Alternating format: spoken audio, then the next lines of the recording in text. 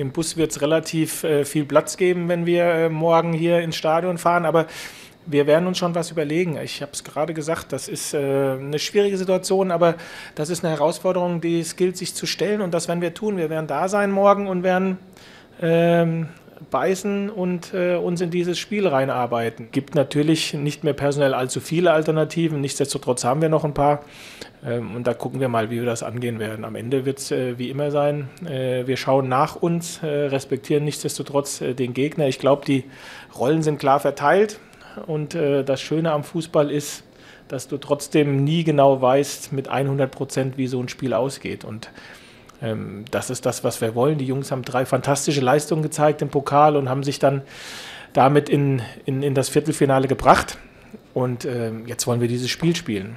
Bayern München ist immer extrem schwierig. Das, ist, äh, das geht jedem so. Aber wenn Bayern München, dann im Pokal und zu Hause. Und dementsprechend ist es genau das, was wir, was wir angehen werden mit all dem, was wir haben.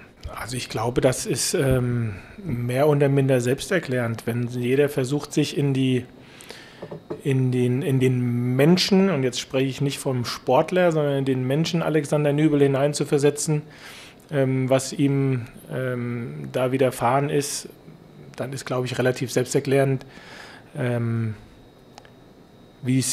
wie es ihm geht, beziehungsweise ähm, was das mit einem macht. Ja, ich möchte die Thematik jetzt hier in der Pressekonferenz ähm, nicht anschneiden, weil ich ähm, heute vor dem Training mit beiden Torhütern sprechen werde und äh, dementsprechend ähm, werde ich das Ganze erst mit den Jungs besprechen, bevor ich das hier thematisiere.